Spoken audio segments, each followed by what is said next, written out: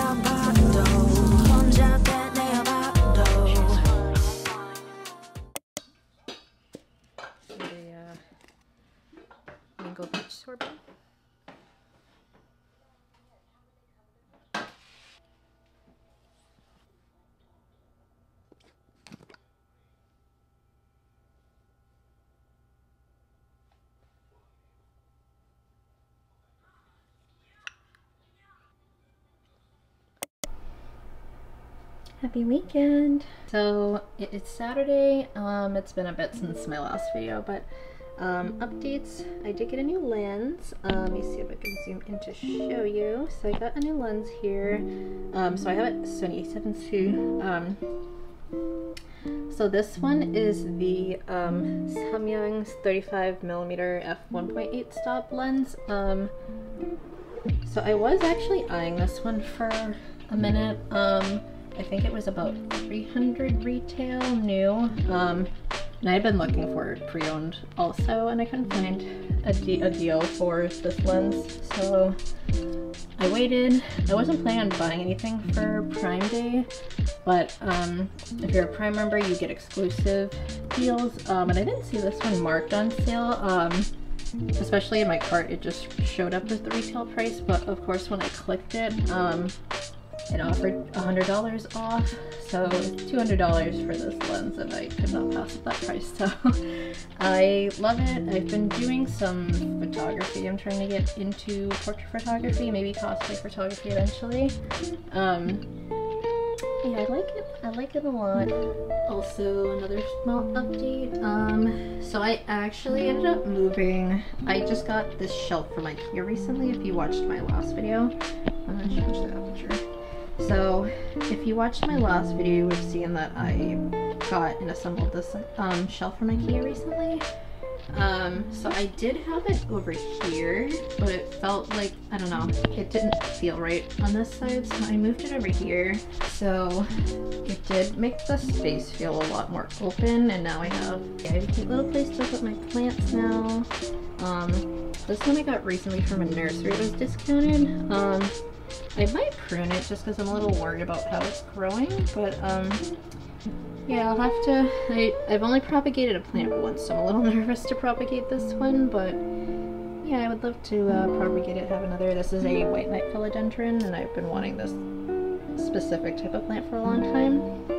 Then we got my little ZZ plant, she's growing pretty big. I think it's time to get a new plant I think it's time to get a new pot for her, but um, that will be a future um, errand to run. And then we have my, um, I forget the name of this plant, but she's doing well. Um, I might get like one of those uh, poles that you tie it around just because she's leaning quite a bit, but she's doing well. So that, yeah, that was the biggest update was installing the shelf. And then I also decided, well, the, the biggest contributor to me changing the space was that um, if you remember my last setup, I had an IKEA pegboard right here, and it actually fell over because I only had that one mounted with um, command strips, and that actually lasted almost two and a half years, but it fell over, so I figured that was a sign to change up the space. I had the other one here um, drilled into the wall. You can see I have to patch those up, but um, it kind of prompted me to change the space up. So now I have this cute little shelf situation going on here. Um, yeah, and then all everything else is the same.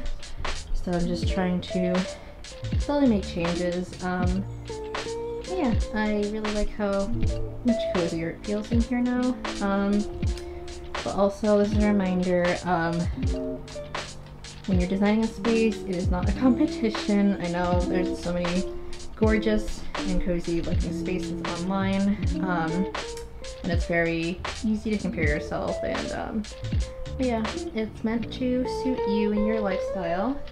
And I I just like making my space cozy because life is really stressful and um, unpredictable at times. So just having a nice place to unwind after work is really nice. Um, but yeah, that's the setup so far. Um, I do feel like I do want to add something right below the shelf right here just because it feels a little empty.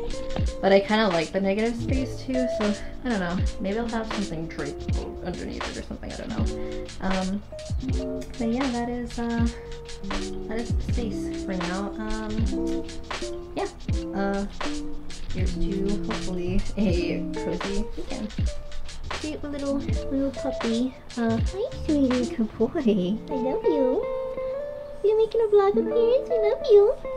I'm tr trying not to fall. Good boy. You say hi to you too? Good boy. I know I love you too.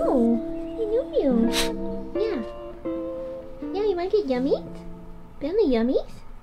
We'll go get yummies? To get yummies? Let's go get yummies. Come on. Turn this down a bit. So you have Tasteful Cozy Fit. Um, this is actually an Aritzia top that I thrifted. It's called the Fortune top, I believe, by. And then we have the Sunday Best Carmen sweaters the softest thing. I own the original kitten cardigan, which this is inspired by, and I don't think they sell that anymore. Um, but it's uh, quite a bit longer than this. If you see me, actually, I wore it in my dust setup tour video, but that is my absolute favorite cardigan. This one is close second. It's very soft and just shorter, so it's so it's a little easier to style. But that is this. And my pants are these cute little lounge pants I got from um, H&M, and that's the cozy fit for today. This is like butter. It's super soft and fluffy. And then little necklace, my tried and true necklace from um, Ana Luisa. That's the cozy fit for today.